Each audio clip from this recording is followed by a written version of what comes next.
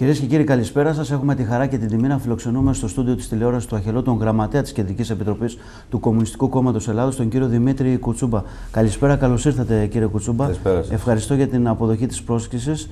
Ε, είναι ιδιαίτερη χαρά και τιμή να, να συνομιλούμε Δική με, μου χαρά. με το γραμματέα ενός κόμματος, ιδιαίτερα στην ε, περίοδο αυτή όπου υπάρχουν μια σειρά από πολιτικές εξελίξεις. Άλλωστε, δεν έχουμε την ευκαιρία και τη δυνατότητα ως περιφερειακό μέσο ενημέρωσης να, έχ- να συνομιλούμε συχνά, αλλά ελπίζω θα μας δοθεί η δυνατότητα μέσα από τη συζήτηση να μιλήσουμε για πολλά θέματα. Εμείς έχουμε την άποψη ότι πρέπει να ενισχύονται τα περιφερειακά μέσα ενημέρωσης, γιατί ακριβώς συμβάλλουν και στην ενημέρωση της περιφέρειας, αλλά να δεικνύουν και μια σειρά προβλήματα που αποσχολούν την ελληνική ύπεθρο, την ελληνική επαρχία.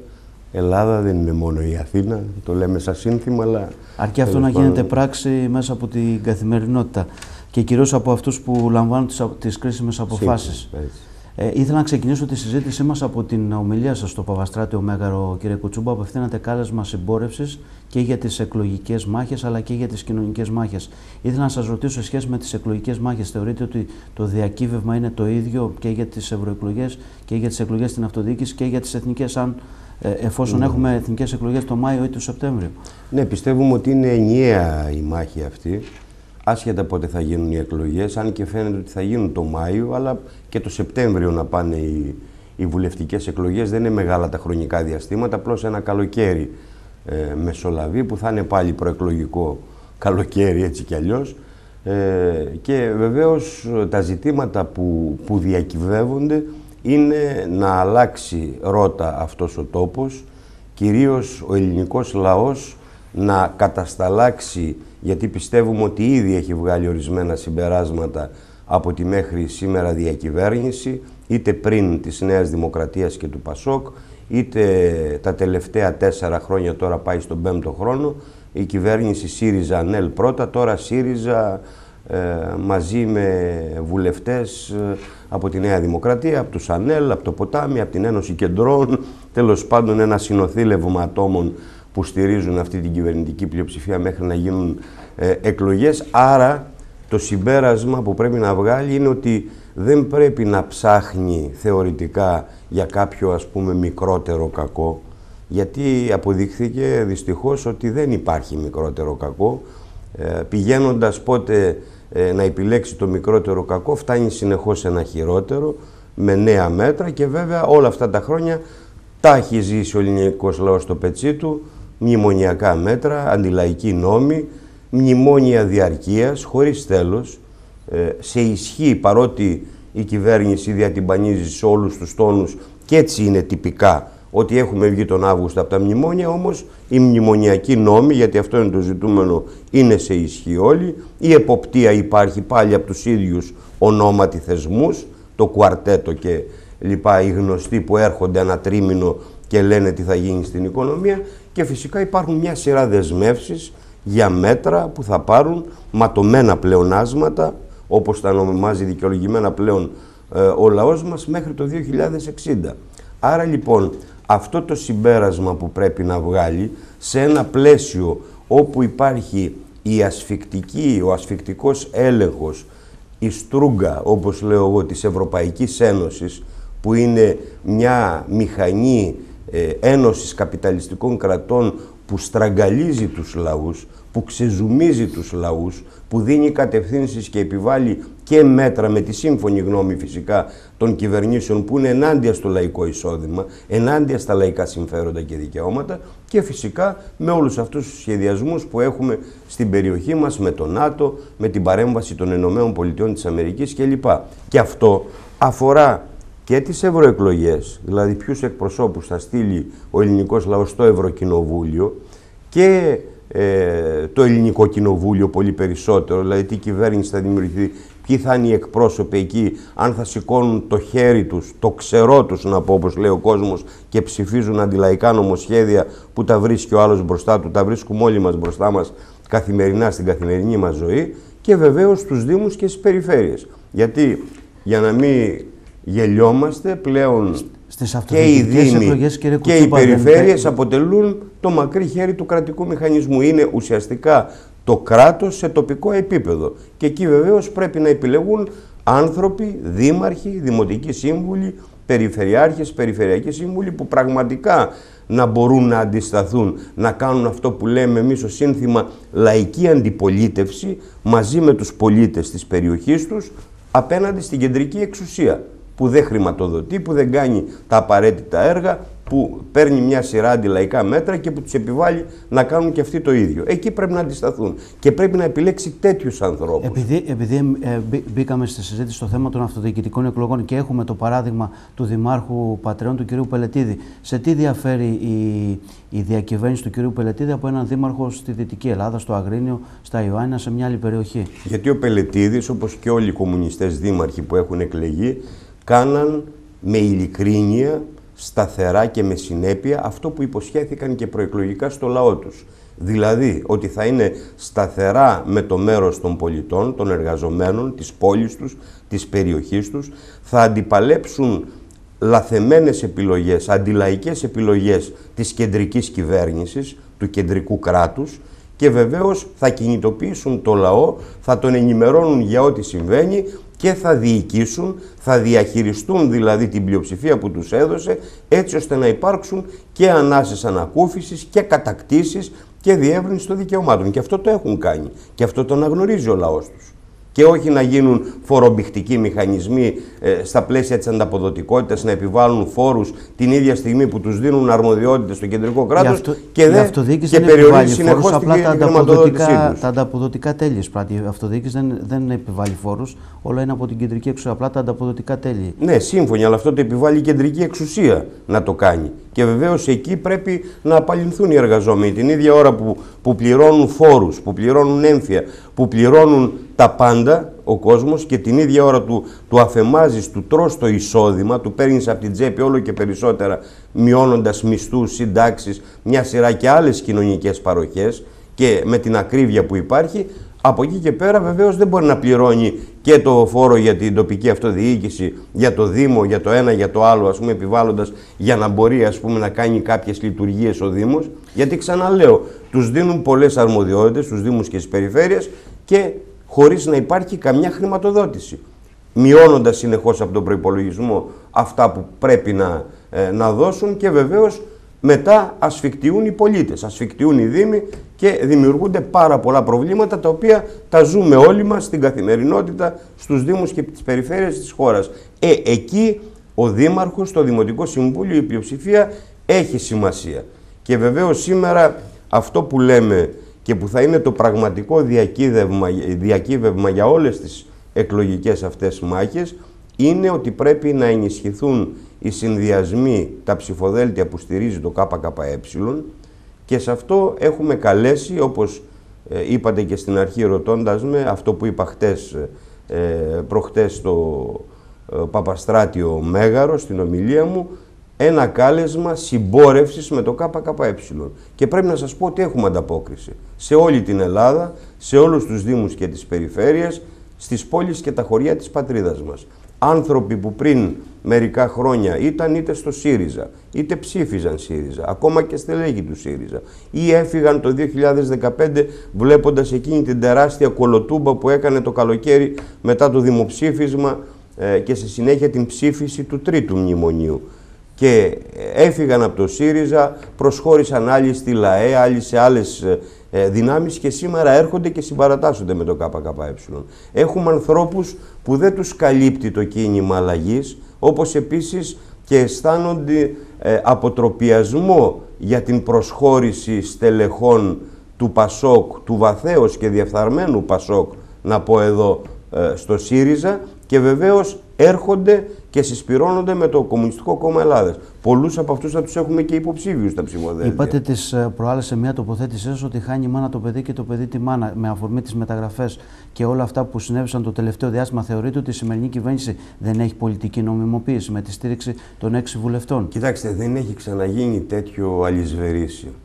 Τέτοιες μεταγραφές που μάλιστα όλη τη μεταπολιτευτική περίοδο. Μιλάμε τώρα κοντά 50 χρόνια, 45 και χρόνια ε, που λειτουργεί το αστικό κοινοβουλευτικό σύστημα εδώ στην Ελλάδα. Δεν έχει ξαναγίνει τέτοια μετακίνηση. Και δεν έχει ξαναγίνει τέτοια μαζική μετακίνηση προσκυβερνών κόμμα, το οποίο φαίνεται, εμφανίζεται να αποχωρεί. Με μια, μετά από μια τετραετία, μια πενταετία, πόσο θα είναι το, ε, το Σεπτέμβριο, αν πάει το Σεπτέμβριο στις εκλογές, σε πέντε χρόνια δηλαδή με τόσο σκληρά μέτρα να προσχωρούν άλλοι βουλευτές εν ενεργεία εκλεγμένοι από ψηφοδέλτια άλλων κομμάτων με άλλα προγράμματα και αυτό φαίνεται στις δηλώσεις τους μέχρι προχτές, μέχρι να γίνουν υπουργοί. Και να γίνεται αυτό το αλυσβερίσι, το δούνε και λαβίν, έλα σε μένα γιατί θα σε βάλω υπουργό, έλα σε μένα ως βουλευτής για να ε, συνδράμει στην κυβερνητική πλειοψηφία γιατί την έχασα την κυβερνητική πλειοψηφία για να σε βάλω αύριο να σε εκλέξω το Μάιο ή το Σεπτέμβριο και να σε προωθήσω σε κάποια κυβερνητική θέση. Αυτό είναι εξαγορά. αυτό είναι διαφθορά. Αυτό είναι σαπίλα. Δικαιολογείται ένας βουλευτής για παράδειγμα ε, να μετανιώσει για την επιλογή του και μάλιστα κυβερνητικού κόμματος να πει ότι ξέρετε άλλα λέγαμε προεκλογικά όπως και έτσι είναι η πραγματικότητα ο ΣΥΡΙΖΑ και άλλα κάνετε τώρα άρα φεύγω. Από Αυτό δικαιολογείται. Πάντως αρκετοί ήταν στην Αλλά κυβέρνηση. Αλλά και αυτοί θα έπρεπε να παραιτηθούν από τη θέση τους. Ναι, λέω από τους έξι κάποιοι ήταν στην κυβέρνηση πριν από, από τα τελευταία γεγονότα. Δεν μπορούμε να μιλάμε για εξαγορά στη, στην περίπτωση αυτή. Μα έχει, ξανα, έχει ξεκινήσει αυτή η ιστορία όλο τον τελευταίο χρόνο. Δεν είναι τωρινή για αυτούς που αναφέρεστε, αν αναφέρεστε στην κυρία Παπακώστα για παράδειγμα ή σε κάποιους άλλους, έχει ξεκινήσει πιο πριν, που ήταν από τη Νέα Δημοκρατία. Εγώ μίλησα επίσης και είπα εδώ στο Αγρίνιο ε, για έναν ε, αριστερό κέντρο ακροδεξιό αχταρμά που υπάρχει σε αυτή την κυβέρνηση, που ξεκίνησε από την ώρα που συγκροτήθηκε, από την πρώτη τη στιγμή. Η πρώτη επιλογή ήταν ΑΝΕΛ, και αυτό είναι δείγμα σαπίλας και διαφθοράς, δηλαδή ένα κόμμα του Καμένου που δεν είχε, εδώ που τα λέμε τουλάχιστον στα λόγια, τίποτα κοινό με την υποτιθέμενη αριστερά του, του ΣΥΡΙΖΑ και τα προεκλογικά, ε, τις προεκλογικές εξαγγελίες και τις θέσεις για μια σειρά ζητήματα και για τη συνταγματική αναθεώρηση, τον χωρισμό κράτους Εκκλησίας και για το ΝΑΤΟ και για την Ευρωπαϊκή Ένωση και για τα μνημόνια και για το ευρώ και μια σειρά πράγματα που τα έλεγε προεκλογικά. Που υποτίθεται δεν ήξερε τι θα κάνει, υποτίθεται τα λες προεκλογικά να βγει στην κυβέρνηση για να τα πραγματοποιήσεις αυτά. Και από την πρώτη στιγμή πήγε και έγινε, έκανε εταίρο του ένα ακροδεξιό εθνικιστικό κόμμα. Από τις θέσεις δηλαδή. Όχι τόσο από την πρακτική όσο από τις θέσεις. Και άρα ξεκίνησε από εκεί. Σε συνέχεια και βάζοντας του υπουργούς εκεί κάποιοι έμειναν, οι κυρίες και οι κύριοι εκεί ε, των ΑΝΕΛ, οι οποίοι ήταν επίσης ε, δεξιοί, ακροδεξιοί σε ορισμένες θέσεις, εθνικιστές, μείναν στην κυβέρνηση, έγιναν ξαφνικά αριστεροί με το ΣΥΡΙΖΑ, άρα έχουμε αυτοί, αυτούς που μου λέτε ότι ήταν λίγο πιο πριν και βέβαια έχουμε και τη διεύρυνση τώρα με άλλους που γίνεται με υπόδειξη κατά την άποψή μας ε, τμήματων της αστικής τάξης, τμήματων και ολόκληρων πρεσβειών και μηχανισμών και του εξωτερικού, ενώ την Αμερικάνικη πρεσβεία, για να με ρωτήσετε, ενώ την πρεσβεία της Γερμανίας, ενώ μια σειρά χώρες τέτοιες της Ευρωπαϊκής Ένωσης και, ε, και των Ηνωμένων Πολιτών της Αμερικής, συνολικά του ΝΑΤΟ, του ευρωατλαντικού σχηματισμού όπως τον λέμε, για τους οποίους ο Τσίπρας κάνει εκδούλευση. Κάνει όλη τη βρώμικη δουλειά πολύ καλύτερα μπορώ να σας πω, αυτό το ομολογούν οι ίδιοι άλλωστε με τις εκθέσεις του State Department και με τις δηλώσεις τις χτεσινές μάλιστα του Τραμπ, κάνει πολύ καλύτερα τη δουλειά από ό,τι άλλοι. Από ό,τι θα την έκανε για παράδειγμα η Νέα Δημοκρατία. Επειδή μπήκαμε, μπήκατε στα θέματα και της εξωτερικής πολιτικής, στα πλαίσια αυτά που αναφέρατε λίγο πριν, ε, θεωρείτε ότι ήταν και η Συμφωνία των Πρεσπών και, και, και, σε, και σε ποια σημεία της ε, διαφωνείτε από τη στιγμή που η κυβέρνηση υποστηρίζει ότι μέσα από τη Συμφωνία των Πρεσπών ενισχύεται ε, η θέση της ε, Ελλάδας στα Βαλκάνια και μια σειρά από άλλα επιχειρήματα. Βεβαίως η Συμφωνία των Πρεσπών ήταν ε, αμερικανο-νατοϊκή επιλογή. Αυτήν υλοποίησε ο ΣΥΡΙΖΑ και με τόσους επιταχυνόμενους ρυθμούς και γι' αυτό βέβαια παίρνει και τα βραβεία τα βραβεία όνειδος, δηλαδή για τον ελληνικό λαό, τα οποία έχουν δοθεί ε, στον Τζίπρα και στο Ζάεφ, όπως δόθηκαν πριν σε άλλους γνωστούς ε, παγκόσμιους εγκληματίες. Και αναφέρομαι στον Γκίσιγκερ ή σε άλλους γνωστούς τέτοιους που ευθύνονται και για το Κυπριακό και για μια σειρά άλλες επεμβάσεις ανά την οικουμένη και πάει λέγοντας και έχουν επιφέρει τόσα δεινά προηγούμενες δεκαετίες στον ελληνικό λαό και στην πατρίδα μας.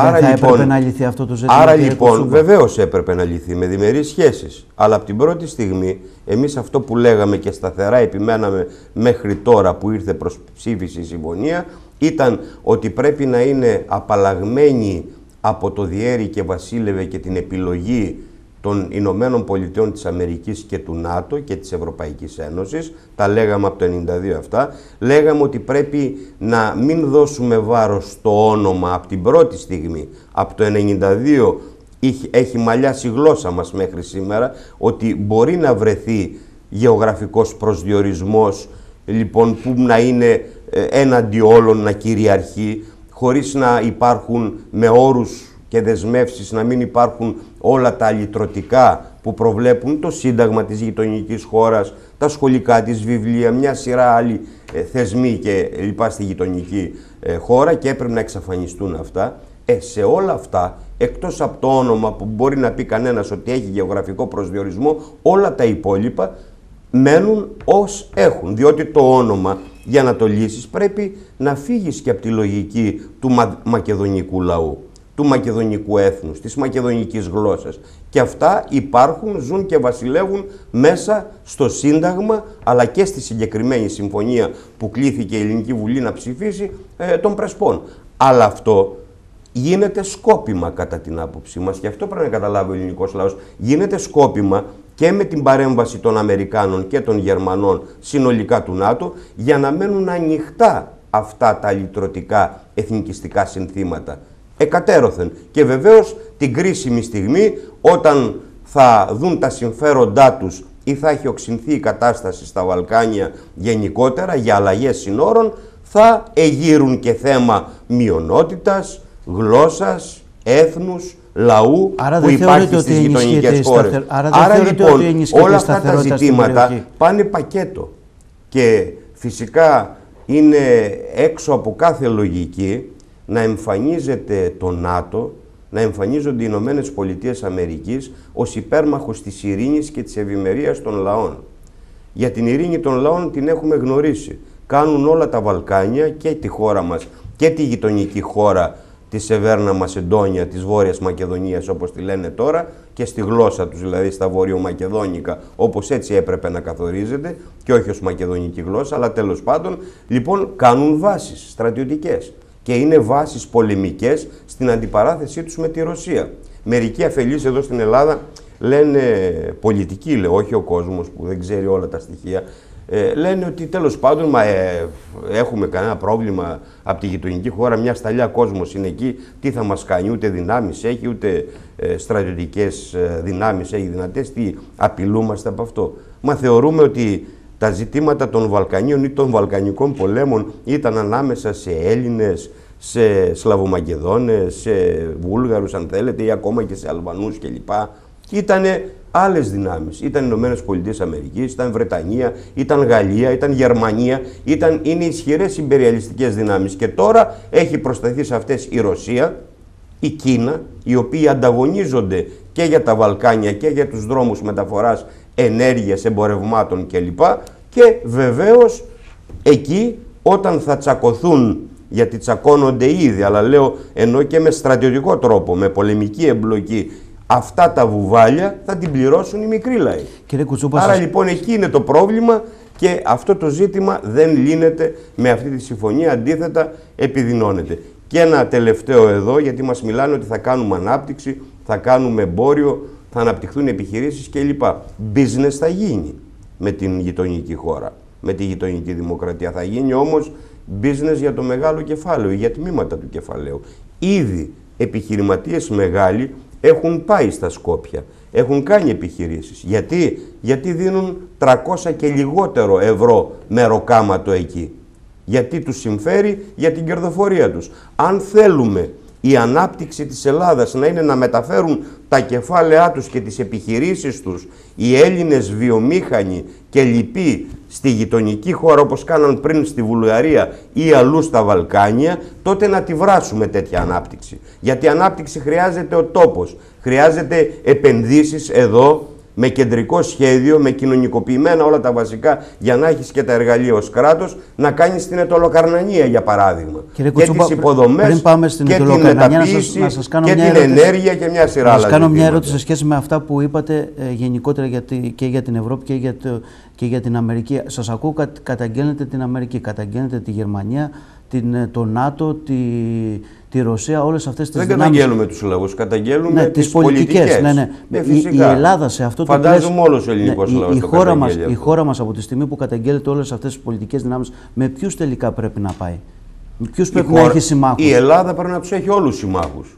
Δεν υπάρχει καμιά αντίρρηση. Πρώτα απ' όλα πρέπει να στηρίζεται στους λαούς και τους γειτονικούς λαούς και όλους τους λαούς της γης. Γιατί οι εργάτες, οι φτωχοί αγρότες, οι αυτοαπασχολούμενοι κλπ. η νεολαία και της Ελλάδας και της ε, ε, Βουλγαρίας και των Βαλκανίων όλων και της Αμερικής και της Αυστραλίας και της Ασίας και της Αφρικής δεν έχουν αγορίζουν τίποτα μεταξύ τους.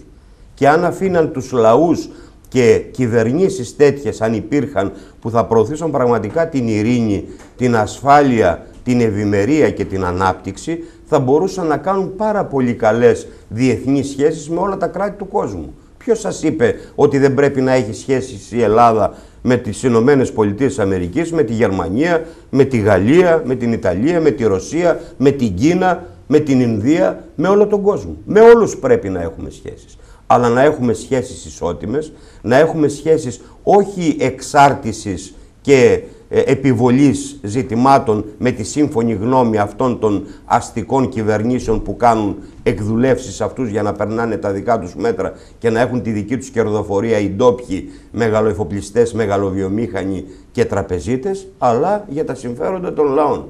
Άρα λοιπόν, εμείς δεν λέμε ότι θα απομονωθούμε ξαφνικά σαν χώρα, ούτε είναι αυτή η πολιτική του, του ΚΚΕ. Άλλωστε ξέρετε ότι είμαστε διεθνιστές, είμαστε διεθνιστικό κόμμα. Και θεωρούμε ότι ο πατριωτισμός πάει μαζί με τον διεθνισμό. Όπως θες για την πατρίδα σου, οι εργάτες αυτής της πατρίδας, οι λαϊκοί άνθρωποι, ο λαός που είναι η πλειοψηφία και όχι οι λίγοι κυφίνες να έχουν τη την συμφωνία- εξουσία και να ζουν όμορφα, έτσι θέλουμε και οι άλλοι λαοί, όλοι οι λαοί του κόσμου να ζουν ειρηνικά, να ζουν όμορφα και να είναι και αυτοί απαλλαγμένοι από την εκμετάλλευση. και Δεν την καταπίεση. απομονώνεται ο, ο επιθετικός εθνικισμός με τη Συμφωνία των Πρόσωπων, κύριε Κουτσούμπα; Όχι, Μιας και βέβαια. μιλήσατε για... Όχι βέβαια και να σας πω γιατί. Διότι ο εθνικισμός και ο κοσμοπολιτισμός, γιατί αυτή η άποψη είναι η κοσμοπολίτικη άποψη. Είναι η άποψη των μεγάλων επιχειρηματιών που θέλουν να κάνουν business και στα Βαλκάνια και παντού και να έχουν αυτά για να έχουν περισσότερα κέρδη οι ίδιοι και να ρίχνουν τα μεροκάματα και να ε, διαλύουν τις εργασιακές σχέσεις σε μια εργασιακή ζούγκλα που ζούμε όλα τα τελευταία χρόνια. Αυτή είναι η ουσία. Αυτός όμως είναι ο κοσμοπολιτισμός του κεφαλαίου. Ο διεθνισμός δεν έχει σχέση με τον κο- κοσμοπολιτισμό, διότι αν έχεις ένα νόμισμα, στη μια όψη γράφει εθνικισμό, δηλαδή εθνική απομόνωση, ε, να, μην κάνουμε, να μην έχουμε σχέσεις με άλλους κλπ. Και α- να διεκδικούμε μάλιστα, ε, ο αλυτρωτισμός αυτό λέει, εδάφη για να μεγαλώνουμε δήθεν την πατρίδα των αστών και από την άλλη μεριά είναι ο κοσμοπολισμός που σου λέει θα κάνω business, θα κάνω την καπιταλιστική παγκοσμιοποίηση όπως λέγεται σε άλλες χώρες για να βγάζω κέρδη εγώ και δεν με ενδιαφέρει τι θα γίνεται και ο λαός ο δικός μου και οι γειτονικοί λαοί που θα τους εκμεταλλεύουμε. Απλά θέλω να τους εκμεταλλεύουμε όλους. Αυτό δεν λύνεται έτσι. Αντίθετα, η πολιτική αυτή του ΣΥΡΙΖΑ, όπως και όσοι ψήφισαν αυτή την κατάπτυστη συμφωνία, την απαράδεκτη συμφωνία, ρίχνουν νερό στο μήλο του εθνικισμού. Καλλιεργείται ο εθνικισμός και μέσα στο έδαφος από ακραίες εθνικιστικές δυνάμεις της ε, Βόρειας Μακεδονίας τώρα, όπως τα λέγεται, και της Ελλάδας. Γιατί τα ζήσαμε αυτά. Άρα χωρίζεις τους λαούς, δεν τους ενώνεις. Άρα λοιπόν το όνομα, ο γεωγραφικός προσδιορισμός που έπρεπε να ειδωθεί μαζί με την εξάλληψη των εθνικιστικών και αλυτρωτικών συνθημάτων και ζητημάτων στο Σύνταγμα της γειτονικής χώρας που δεν το επιλύουν αυτή τη στιγμή, μαζί με τη μη ένταξη σε ΝΑΤΟ σήμερα, Ευρωπαϊκή Ένωση αύριο, θα ήταν η ασφαλιστική δικλίδα για ειρήνη, ευημερία, ανάπτυξη και διμερή και πολυμερή συνεργασία όλων των λαών των Βαλκανίων. Κύριε Κουτσούμπα, θα, θα βάλουμε μια άνω τελεία στη συζήτησή μας να πάμε στο απαραίτητο διαφημιστικό διάλειμμα και θα επιστρέψουμε σε λίγα λεπτά και πάλι μαζί.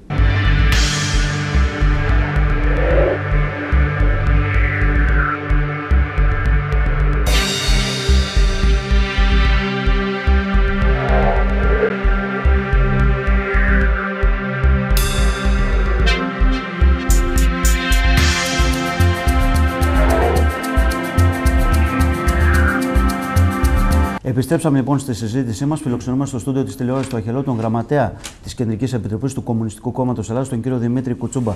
κύριε Κουτσούμπα, στην αρχή της συζήτησής σας είχατε ανα, αναφέρατε ότι η πολιτική της λιτότητας συνεχίζεται ε, στη χώρα μας με την, ε, ε, από την κυβέρνηση ΣΥΡΙΖΑ. Η, από την άλλη κυβέρνηση το τελευταίο διάστημα ψήφισε μία σειρά από μέτρα, αύξηση του κατώτερου μισθού, μείωση στις ασφαλιστικές εισφορές και μία σειρά από μέτρα τα οποία είχαμε το προηγούμενο διάστημα. Αυτά είναι στην κατεύθυνση λιτότητας όλα αυτά τα μέτρα που ψήφισε πρόσφατα η κυβέρνηση. Βεβαίως, γιατί είναι οι μνημονιακοί νόμοι που είναι αντιλαϊκοί νόμοι σε πλήρη ισχύ ε, βεβαίως, ε, σε συνθήκες καπιταλιστικής ανάκαμψης, μετά τη μεγάλη κρίση που περάσαμε τα τελευταία 10 χρόνια, και αυτό έτσι θα γινόταν κάποια στιγμή, δεν υπήρχε περίπτωση, δεν μπορεί να έχεις επάπειρον μονίμως οικονομική καπιταλιστική κρίση, κάποτε περνάς σε μια μικρή αναζωγόνηση, αυτή τη φάση περνάμε τώρα, σε αυτή τη φάση ε, είμαστε. Το πρόβλημα είναι ότι δεν καταργεί νόμους μνημονιακούς, ε, δεν ε, οδηγεί στο να πάρεις πίσω όλα αυτά που κλέψαν από τον ελληνικό λαό από το εισόδημά του τα προηγούμενα χρόνια. Δεν είναι σε αυτή ε, την κάποια, κατεύθυνση τα μέτρα. Κάποια επιδόματα, όχι δεν είναι σε αυτή την κατεύθυνση, κάποια επιδόματα από το χοκομείο δεν λύνουν ουσιαστικά το πρόβλημα γιατί, κοιτάξτε να δείτε, είναι αυτό που λες, σου δίνω ένα σήμερα, δίνει ένα και σου παίρνω δέκα. Αυτή είναι η ουσία. Και βεβαίως εμείς λέμε καθαρά στον ελληνικό λαό. Καταρχήν δικαιούται να πάρει ακόμα και μισό ευρώ και ένα ευρώ και δύο ευρώ. Δικαιούται πολύ περισσότερα. Ό,τι του δίνουν να το παίρνει. Ναι. Αλλά να μην λέει ευχαριστώ. Να μην ξεχνά δηλαδή ότι του έχουν πάρει πολλαπλάσια αυτά τα χρόνια και ότι πρέπει να το διεκδικήσει. Να μην ε, ε, δηλαδή νιώθει και ευχαριστημένος από πάνω γιατί αυτό περίπου μας λένε οι υπουργοί και η κυβέρνηση ΣΥΡΙΖΑ ότι πρέπει να νιώθετε ευτυχισμένοι, ε, χαρούμενοι, η κυβέρνηση τα κάνει όλα, τα δίνει όλα και θα πάμε μπροστά και θα πάμε καλά. Αυτή η χαζουχαρούμενη αντιμετώπιση δεν έχει πρακτικό αντίκρισμα για τον ελληνικό λαό και να τα δούμε και συγκεκριμένα. Κατώτερος μισθός. Λέει, θα κάνω αυτή την αύξηση με υπουργική απόφαση. Μπορεί όμως να ξεχάσει ο ελληνικός λαός ότι αυτός ο κατώτερος μισθός, το οποίος έγινε με αυτή την αύξηση με την πάλη του Κουκουέ. Αν δεν υπήρχε το Κουκουέ εδώ που τα λέμε και οι εργατικοί λαϊκοί αγώνες δεν θα τα δίναν αυτά. Αν δεν υπήρχε δηλαδή η πίεση που τους ασκούμε μέσα στη Βουλή, που αν ήταν μεγαλύτερη μπορεί να ήταν και περισσότερο αυτό που θα έδιναν. Αλλά το ξεπερνάω αυτό. Πρέπει να ξεχάσει όμως ο ελληνικός λαός ότι αυτό γίνεται με ένα νόμο της Νέας Δημοκρατίας. Το νόμο Βρούτσι, τον οποίο ο ΣΥΡΙΖΑ όταν πέρναγε αυτός ο νόμος από την προηγούμενη κυβέρνηση της Νέας Δημοκρατίας, τον έλεγε νόμο δολοφόνο για τα εργατικά δικαιώματα. Γιατί μπορεί να δίνει μια αύξηση στον κατώτερο μισθό, όμως αυτό θα γίνεται με υπουργική απόφαση, την οποία ανα πάσα στιγμή μπορεί να την ανακαλέσει και να την πάρει πίσω, εάν υποτίθεται δεν πάει τόσο καλά η οικονομία όσο υπολογίζει σήμερα, και βεβαίως τον είχε καταψηφίσει και καλά έκανε. Και είχαν γίνει τεράστιες κινητοποιήσεις τότε, όπως θα θυμόστε. Πριν η κυρία Χτσόγλου γίνει αυτή βρούτσης. Γιατί τώρα ο νόμος οικονομία... αυτός έγινε νόμος Βρούτσι Αχτσιόγλου και σημαίνει ότι σταματούν λέει τέρμα στις διεκδικήσεις, λέει τέρμα στις συλλογικές διαπραγματεύσεις, άρα μπορεί να έρθει σε τρεις μήνες γιατί έρχεται τώρα το κουαρτέτο για να κάνει έλεγχο και να πει «Α, ξέρετε, ε, στα ζητήματα του χρέους, αυτά που χρωστάτε, ή ξέρω στα ζητήματα των δικτών της οικονομίας, ε, δεν είμαστε τόσο ικανοποιημένοι, άρα παρακαλώ πάρτε το πίσω αυτό. Και αν δεν το πεις σε τρεις μήνες, το πεις ένα εξάμεινο, το πεις ένα χρόνο αυτό. Διότι αχνοφέγγει πάλι νέα οικονομική κρίση. Ε, εσείς η οποία έχει να κάνει με το διεθνή παράγοντα και με τις διεθνείς Εσείς θεωρείτε κύριε Κουτσούμπα ότι η ελληνική οικονομία αυτή τη στιγμή ε, έχει ε, γερά θεμέλια ώστε να δοθεί περαιτέρω αύξηση στον κατώτατο μισθό ή και γενικότερα να δοθούν και άλλα χρήματα στους πολίτες; Ή υπάρχει κρίση, τι από τα δύο συμβαίνει; Ε, εμείς θεωρούμε ότι υπάρχει τεράστια παραγωγική δυνατότητα στη χώρα μας.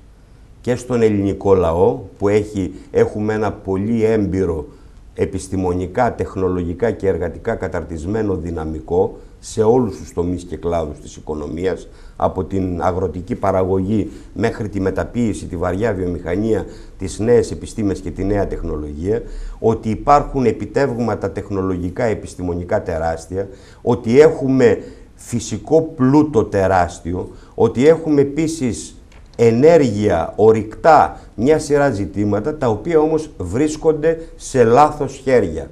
Αυτό πρέπει να καταλάβει ο ελληνικός λαός. Βρίσκονται στα χέρια συγκεκριμένων μονοπωλιακών ομίλων, συγκεκριμένων κυφήνων στην ουσία, οι οποίοι εκμεταλλεύονται αυτόν τον πλούτο, αυτή την παραγωγή, σε εξάρτηση βεβαίως και αλληλοσύνδεση με άλλους μονοπωλιακούς ομίλους, αμερικάνικους, βρετανικούς, γαλλικούς, γερμανικούς και πάει λέγοντας ανά την οικουμένη και αφήνεται πίσω αυτό το παραγωγικό δυναμικό να υποφέρει. Άρα λοιπόν μια διακυβέρνηση την οποία προτείνουμε εμείς με τέτοιο σχέδιο στην οικονομία που θα έχει κεντρικά επιστημονικά επεξεργασμένο σχέδιο με στόχο να εξαλείψει την ανεργία, να υπάρχει σε όλους σταθερή δουλειά και να αναπτύξει τη βιομηχανία και συνολικά την οικονομία και την αγροτική παραγωγή Σημαίνει όμως ότι πρέπει να τα έχεις αυτά στα χέρια σου. Ποιος θα έχει αυτές τις επιχειρήσεις άμα τα δώσεις, μα θα κοινωνικοποιηθούν. Αυτή είναι η πρόταση και η μόνη λύση. Αυτό που λέγαν παλιότερα διάφορα κόμματα και κορόιδεψαν τον ελληνικό λαό. Αυτά που έλεγε το Πασόκ τη δεκαετία του 80 και του 90, αυτά που έλεγε μετά ο ΣΥΡΙΖΑ προεκλογικά, κοινωνικοποίηση. Αλλά αυτοί εννοούσαν άλλο. Εννοούσαν καπιταλιστικές επιχειρήσεις με ένα μέρος στο δημόσιο, ένα μέρος σε ιδιώτες κλπ. Δηλαδή αναρχία της παραγωγής. Εδώ μιλάμε για την καπιταλιστική ζούγκλα, η οποία έχει μόνο την αναρχία, τον ανταγωνισμό και να είναι ο ένας επιχειρηματίας λύκος για τον άλλον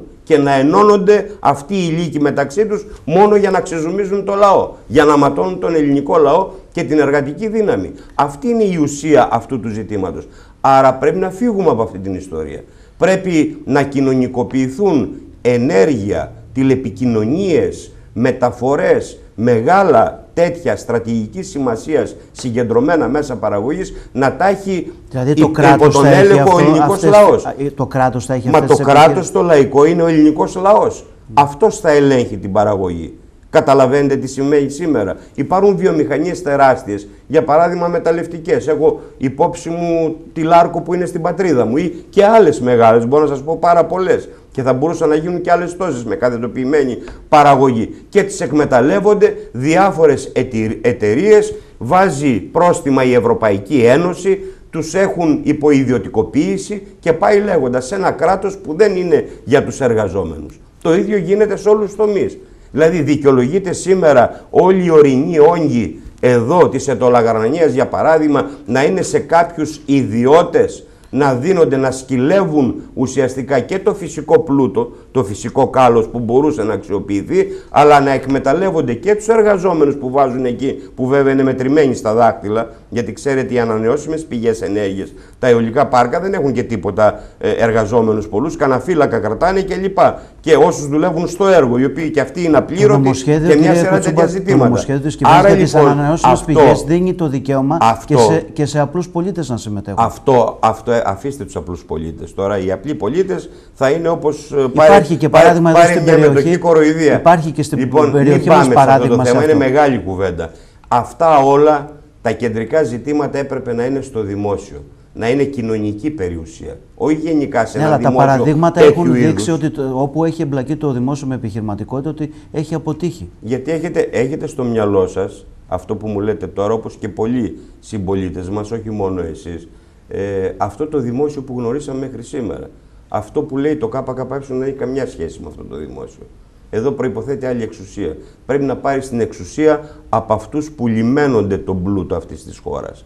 Και πρέπει να περάσει η εξουσία πραγματικά στο λαό. Σημαίνει ότι πρέπει να είναι εργατικό το κράτος, λαϊκό το κράτος. Σημαίνει ότι κάνεις μια διακυβέρνηση, έχεις ένα κεντρικό επιστημονικό σχέδιο, συγκρούεσαι με ιδιωτικά συμφέροντα που θέλουν και ενδιαφέρονται μόνο για την κερδοφορία τους, γιατί ας μην γελιόμαστε, δεν το κάνουν για την ψυχή της μάνας τους, ούτε οι εφοπλιστές, ούτε οι μεγαλοειδιοκτήτες, οτιδήποτε. Το κάνουν για να έχουν κερδοφορία. Αυτή είναι η ουσία. και βέβαια η κερδοφορία των λίγων δεν μπορεί να πηγαίνει με την κερδοφορία των πολλών. Εντάξει, μπορεί να υπάρχει φιλανθρωπία, μπορεί να είναι κάπου ένας καλός άνθρωπος και να βοηθάει την τοπική κοινωνία σύμφωνη, όμως δεν λύνεται το ουσιαστικό πρόβλημα που θέτει το ΚΚΕ. για την παραγωγική ανασυγκρότηση σε τέτοια κατεύθυνση της χώρας. Κύριε Κουτσούμπα, αυτοί οι πρώτε που προαναφέρατε ε, συνολικά για την παραγωγική ανασυγκρότηση της χώρας, γιατί με βάση, το λέω αυτό, τις δημοσκοπήσεις που έχουμε ε, το τελευταίο διάστημα, αλλά και τις τελευταίες εκλογικές αναμετρήσεις δεν την αποδέχεται ο ελληνικός λαός. Βλέπουμε τα ποστά του Κομμουνιστικού Κόμματος Ελλάδος και στις τελευταίες εθνικές εκλογές, αλλά και με βάση τις δημοσκοπήσεις που βλέπουν το φως της δημοσιότητας, ότι δεν, δεν έχει αποδοχή η πρότασή σας. Γιατί συμβαίνει αυτό; Σήμερα ο ελληνικός λαός μπορεί να βγάλει συμπεράσματα. Δεν είναι όπως χτες. Εμείς αυτό καλούμε να κάνει και αυτό θέλουμε να το πούμε κοιτάζοντάς τον στα μάτια και με καθαρή καρδιά, με καθαρό μυαλό και με καθαρή τη συνείδησή μας. Πρέπει να αποφασίσει με ποιους θα πάει και ποιους θα αφήσει. Γνώρισε όλους τους υπόλοιπους. Και τη Νέα Δημοκρατία και το ΠΑΣΟΚ και το ΣΥΡΙΖΑ και άλλα μικρότερα κόμματα οι βουλευτές που συγκυβέρνησαν. Και ακολούθησαν μια πεπατημένη, ένα δρόμο που οδηγεί συνεχώς σε νέα αδιέξοδα. Και αυτό, ξέρετε, έγινε με τη λογική, ρε παιδί μου, εντάξει, το κουκουέ δεν μπορεί να κυβερνήσει τώρα, ας πάω στο μικρότερο κακό. Και τελικά αποδεικνυόταν το μικρότερο κακό, αυτό που είχε στο κεφάλι το μικρότερο κακό, ή αυτά που τον κορόιδευε ο άλλος και τον πίστευε προεκλογικά, λοιπόν να γίνεται όλο και μεγαλύτερο κακό, όλο και χειρότερο. Και αυτή την πορεία ακολουθούμε πολλά χρόνια τώρα. Ε, λοιπόν, σε αυτή τη λογική, στα ψεύτικα διλήμματα, από εδώ το δίπολο, Νέα Δημοκρατία ή ΣΥΡΙΖΑ, Τσίπρας ή Μητσοτάκης. Τώρα να πάω στο Μητσοτάκη, ας ψηφίσω πάλι Τσίπρα ή θέλω να φύγει αυτός ο, ο τέλος πάντων ο απαράδεκτος ε, Τσίπρας, να έρθει ο Μητσοτάκης, ας έρθει όποιος να είναι. Αυτή η λογική είναι λάθος λογική. Γιατί όμως ο κόσμος μετατοπίζεται προς τα δεξιά και όχι προς τα αριστερά. λογική πρέπει να κύριε φύγουμε. Κουτσούμπα, γιατί Δεν μετατοπίζεται υπάρχει... προς τα δεξιά και όχι προς τα αριστερά. Εγώ διαφωνώ με μαζί σας. δημοσκοπήσεις το λέω. Διαφωνώ μαζί σας για το αριστερά-δεξιά. Δεν υπάρχει ούτε αριστερά ούτε αριστερά δεξιά. Εννοώ το κομμουνιστικό Δεν υπάρχουν, ακούστε να, να σας πω. Αφήστε αυτούς τους γεωγραφικούς προσδιορισμούς που πάλι χωρίζουν το λαό μας. Είναι παροχημένοι, είναι ξεπερασμένοι, είναι του παρελθόντος. Δεν υπάρχει αριστερός και δεξιός. Ξέρετε τι υπάρχει. Ωραία, να σας το θέσω Ξέρετε τι υπάρχει, όχι, θα σας το θέσω ναι. εγώ. Κατάλαβα τι είπατε. Δεν χρειάζεται ναι, να μου διευκρινίσετε. Κατάλαβα πολύ καλά. Απαντάω όμως και λέω ότι σήμερα ο διαχωρισμός είναι από εδώ οι εργάτες, οι υπάλληλοι, οι αγρότες, οι επαγγελματίες, οι νέοι και οι γυναίκες των λαϊκών οικογενειών που υποφέρουν και δέχονται την πίεση μιας απαράδεκτης αντιλαϊκής πολιτικής από όλους αυτούς που ανέφερα πριν και από την άλλη είναι λίγοι εφοπλιστές, μεγαλοβιομήχανοι, μονοπωλιακοί όμιλοι, ντόπιοι και ξένοι και ελληνικής ε, μετοχικής σύνθεσης και ξένοι ε, κλπ. Αυτό είναι η ουσία και αυτή είναι η λίγοι. Και αυτοί οι λίγοι φτιάχνουν το πολιτικό τους προσωπικό. Τέτοιο πολιτικό προσωπικό είναι αυτό που έχετε ακούσει να λέμε αστικά κόμματα, όπως είναι η Νέα Δημοκρατία, το ΠΑΣΟΚ, ο ΣΥΡΙΖΑ που έγινε τα τελευταία χρόνια κλπ. Και κάνουν τη δουλειά τους και κάνουν μια χαρά τη δουλειά τους ενάντια στα λαϊκά συμφέροντα. Απ' την άλλη μεριά τα λαϊκά, είναι τα όλος λαϊκά στρώματα ο λαός. γιατί δεν μετατοπίζονται βεβαίως, προς τα εσάς και πάνε προς, προς την... Μα έχουμε πει ότι υπάρχει μια πεπατημένη, υπάρχει ο ρόλος γενικότερα του κρατικού μηχανισμού, υπάρχει ο, ρόλος, ο λόγος των πιέσεων, υπάρχει μια λογική η οποία είναι κυρίαρχη εφόσον δεν γίνεται κάτι διαφορετικό άμεσα τώρα, άρα δεν με βοηθάει αυτό κλπ. Από αυτή τη λογική λέμε ότι πρέπει να φύγουν. Ο εκλογικός στόχος. Εμένα με έχετε εδώ για να σα εξηγήσω τη θέση του ΚΚΕ. Ναι. Και όχι για, να, για να εκτιμήσω ή για να κατακρίνω το πώς σκέφτεται ή το πώς ψηφίζει ο ελληνικός λαός. Και νομίζω σας έδωσα το καταλαβαίνω και γι' αυτό σας απαντώ. Και λέω ότι πρέπει αυτή τη φορά ο ελληνικός λαός να αποφασίσει κάποια πράγματα. Και τουλάχιστον αν δεν το επιλύσει τώρα, αυτούς τους μήνες, σε τρεις μήνες, το Μάιο ή το Σεπτέμβριο, να ανοίξει αυτό το δρόμο για να επιληθεί αύριο το πολιτικό πρόβλημα και το κοινωνικό-οικονομικό πρόβλημα της χώρας και του λαού μας. Και αυτό γίνεται μόνο με ενίσχυση του ΚΚΕ. Αυτό γίνεται μόνο αν βγάλει το ΚΚΕ, για παράδειγμα, περισσότερους δημάρχους και δημοτικούς συμβούλους, περισσότερους περιφερειάρχες και περιφερειακούς συμβούλους σήμερα, ε, αν έχει περισσότερα εργατικά σωματεία, συλλόγους κλπ. που είναι στην πλειοψηφία αγωνιστικές πραγματικά, είτε κομμουνιστές, είτε αγωνιστές άλλοι κλπ. δυνάμεις που θα παλεύουν και θα διεκδικούν μαζί με αυτούς που έχουν την εξουσία και είναι στα θεσμικά όργανα του ελληνικού κράτους. Όταν στις εκλογές, για παράδειγμα, δώσει και τις ευρωεκλογές και τις βουλευτικές, δώσει μια μεγάλη δύναμη, μια ισχυροποίηση του ΚΚΕ. Δεν είναι το ίδιο να έχει το ΚΚΕ 15, για παράδειγμα, βουλευτές στην Ελληνική Βουλή από το να έχει 25, 30, 40, 50, όσο γίνεται περισσότερο. Δεν είναι το ίδιο για τον ελληνικό λαό και για την πρόοδο, για να μην πηγαίνει ο κόσμος συντηρητικά, αντιδραστικά, όπως μου επισημάνατε πριν, να είναι το ΚΚΕ τέταρτο ή πέμπτο κόμμα, αλλά είναι να διώξει ο ελληνικός λαός τη Χρυσή Αυγή, για παράδειγμα, από την τρίτη θέση. Να αναδείξει το ΚΚΕ. Είναι στόχος σας αυτός εκλογικός Βεβαίως είναι, βεβαίως είναι. Και θα είναι για το συμφέρον. Εμείς λέμε ότι δεν είναι άσχετα τι βάζουν τα κόμματα ως στόχους. Το πρόβλημα είναι ότι πρέπει ο ελληνικός λαός να το βάλει ως δικό του στόχο. Ιδιαίτερα ο κόσμος που αντιλαμβάνεται, που είναι δημοκράτης, που έχει στο μυαλό του προοδευτικά συνθήματα, που έχει τον εξυγχρονισμό και την ευημερία και την ανάπτυξη της Ελλάδας και του τόπου του εδώ για παράδειγμα, μιας και είμαστε στην Ετωλακαρνανία, συνολικότερα ε, στη Δυτική Ελλάδα. Και εδώ είναι πολύ κρίσιμο ζήτημα, για παράδειγμα, να ενισχυθεί ο συνδυασμός που έχει στην περιφέρεια Δυτικής Ελλάδας τον Καραθανασόπουλο, τον Νίκο επικεφαλής στην περιφέρεια. Είναι πολύ σημαντικό να ενισχυθεί ο συνδυασμός του ΚΚΕ της Λαϊκής Εισπύρωσης που έχει στην Ήπειρο ε, το, το Μπρέτζα υποψήφιο περιφερειάρχη. Είναι πολύ σημαντικό η Αλεξάνδρα Ιμπαλού που είναι υποψήφια περιφερειάρχης Ιωνίων ε, Νήσων, η Κερκυραία να ε, μπορέσει να έχει πολλούς περιφερειακούς συμβούλους και να αναδειχθεί πραγματικά σε πλειοψηφική δύναμη σε αυτές τις εκλογές. Είναι πολύ σημαντικό να βγάλουμε όχι μόνο βουλευτή εδώ στην Ατολοκαρνανία, αλλά παντού σε όλους τους νομούς της χώρας και να ενισχυθεί η κοινοβουλευτική ομάδα του, του κόμματος. Και εδώ σας λέω ότι το ΚΚΕ πραγματικά έχει μια μεγάλη αγκαλιά για όλο αυτό τον κόσμο.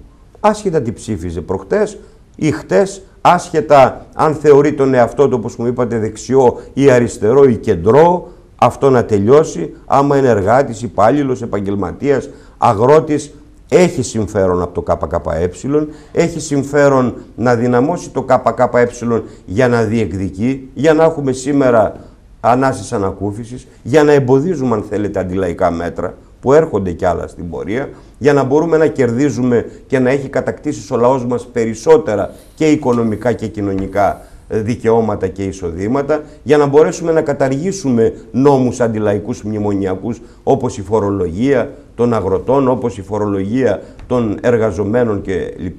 Να σταματήσουμε τους πληστηριασμούς πρώτης κατοικίας, να αναδείξουμε δηλαδή μια σειρά ζητήματα και κυρίως να ανοίξουμε το δρόμο για να γίνει αυτό που θέλουμε, μια ριζική ανατροπή και στην οικονομία και στην κοινωνία, έτσι ώστε πραγματικά νοικοκύρη σε αυτόν τον τόπο να γίνει ο ίδιος ο ελληνικός λαός. Θεωρείτε κύριε Κουτσούμπο ότι όποτε και αν πραγματοποιηθούν οι εθνικές εκλογές, δηλαδή το Μάιο ή το Σεπτέμβριο που είναι τα δύο πιθανά σενάρια, ότι θα υπάρξει ε, κλίμα πόλωσης και αν ναι πόσο πιστεύετε ότι θα επηρεάσει τη δική σας ε, ε, μάχη, την εκλογική; Ναι, πιστεύω ότι θα γίνει προσπάθεια να δημιουργηθεί τέτοιο κλίμα πόλωσης. Το έχουμε γνωρίσει, δηλαδή ε, θα τους εμφανίζουν και εδώ δυστυχώς θα πρέπει να πάρουν υπόψη και τα μέσα ενημέρωσης να μην παίξουν αυτό το ρόλο αυτή τη, τη φορά, και δεν το βλέπω, το βλέπω δύσκολο, ήδη έχει ξεκινήσει, να τους προβάλλουν σαν μονομάχους, να γίνεται μια κοκορομαχία το συναντάμε και τώρα στην πολιτική επικαιρότητα για δευτερεύοντα ζητήματα και να μην γίνεται για την ουσία. Γιατί στην ουσία συμφωνούν στις πολιτικές αυτά που είναι και αυτές τις ώρες στην. Και αυτό. Και αυτό είναι ένα στοιχείο από προσανατολισμού. Ο δηλαδή ένα ζήτημα. Είπε ότι πρόκειται για κουτσομπολιό. Ένα ζήτημα, κοιτάξτε, δεν ξέρω αν είναι κουτσομπολιά, γιατί και ποιος το κάνει το κουτσομπολιό, γιατί και από το ΣΥΡΙΖΑ γίνεται κουτσομπολιό και από βουλευτές και υπουργούς του ΣΥΡΙΖΑ για το συγκεκριμένο ζήτημα. Ο κύριος Πολάκης επίσης καλλιεργεί τα, αυτά τα κουτσομπολιά και δίνει ε, έναυσμα για να γίνεται συζήτηση για το όνομά του. Λοιπόν, και η υπόλοιπη Νέα Δημοκρατία οπωσδήποτε και μια σειρά ε, άλλοι που παίζουν σε αυτό το παιχνίδι του αποπροσανατολισμού. Γιατί να σας πω και γι' αυτό μοιάζει και το θέσατε.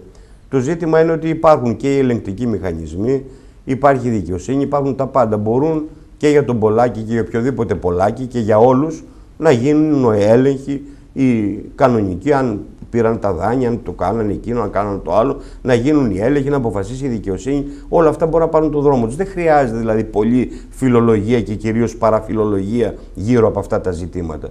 Διότι εμείς δεν ξέρουμε ούτε ακριβώς τι συνέβη, ούτε ακριβώς τι έγινε. Ακούμε αυτά που λέγονται ή που λέει ο καθένας ή οι άμεσα εμπλεκόμενοι. Το ζήτημα είναι ότι αυτά υπάρχουν μηχανισμοί που πρέπει να ελεγχθούν. Και από εκεί και πέρα, εμείς τον κάθε κύριο Πολάκη, όπως και κάθε υπουργό της κυβέρνησης, δεν τον κρίνουμε με βάση τέτοια ούτε παραφιλολογία ούτε κουτσομπολιά κλπ. Τον κρίνουμε με βάση τι έργο επιτελεί και θεωρούμε ότι το έργο για παράδειγμα στον τομέα της υγείας όπως είδαμε και εδώ αυτές τις μέρες που είμαστε στην Ατολακαρνανία δεν βοηθάει τον ελληνικό λαό, τους εργαζόμενους, τα φτωχά λαϊκά στρώματα να πάνε με σιγουριά να γιατροπορευτούν. Αντίθετα μπαίνουν κίνδυνοι μεγάλοι ακόμα και για την υγεία του λαού μας, την υγεία των παιδιών μας. Και τα δυο νοσοκομεία εδώ στην Ατολακαρνανία και τα κέντρα υγείας, τα συγκεκριμένα που υπάρχουν, έχουν όλα τεράστιες ελλείψεις. Αυτές τις καταγγελίες έχουμε και αυτές δεν είναι αντιπολιτευτικές καταγγελίες όπως λένε οι κύριοι της κυβέρνησης, είναι συγκεκριμένες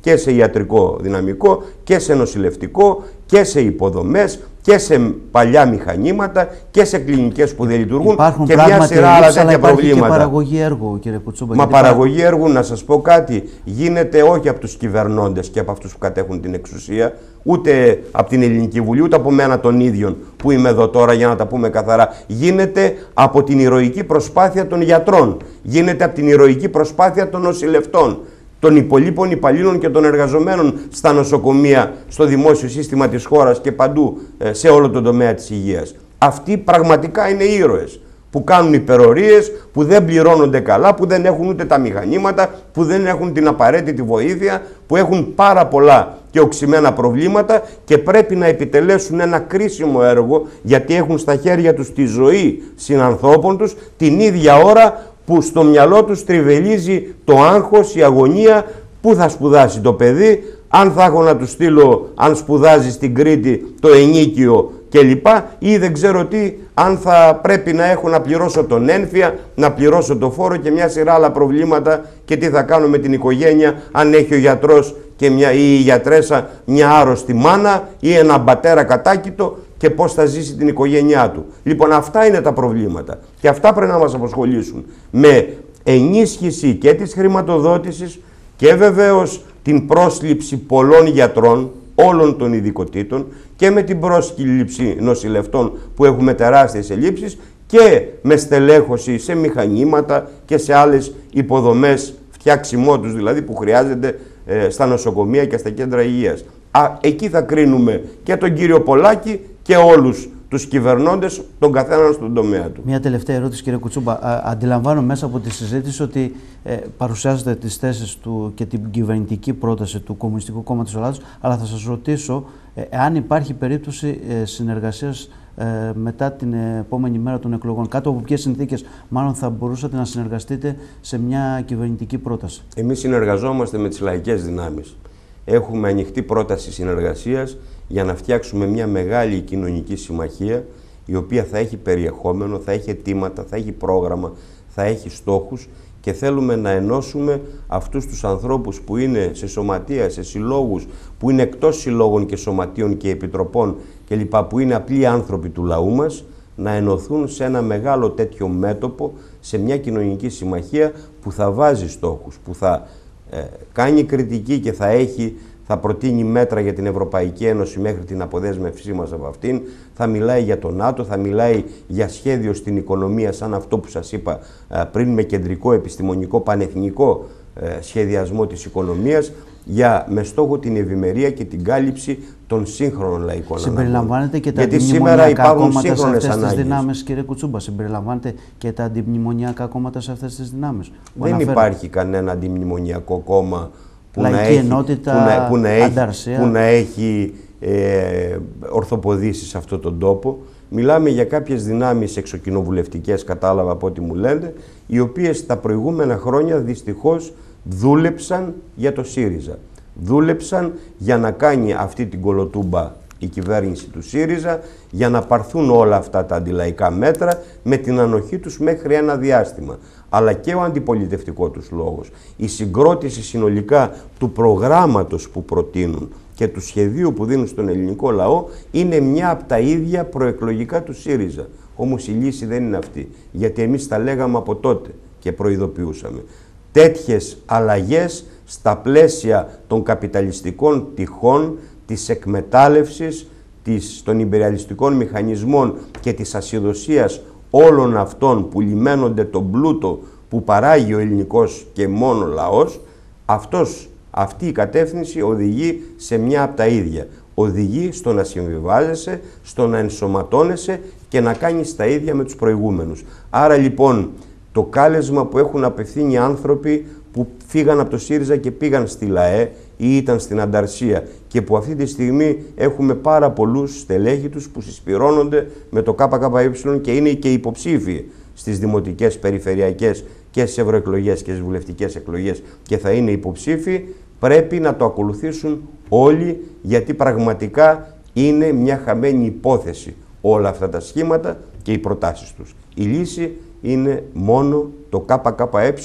έστω και αν διατηρεί ο καθένας τις διαφωνίες του, τους δικούς του προβληματισμούς. Αυτές μπορεί να τις συζητήσουμε εν θερμό μέσα στη δράση, όλοι μαζί ενωμένοι μέσα στο κίνημα.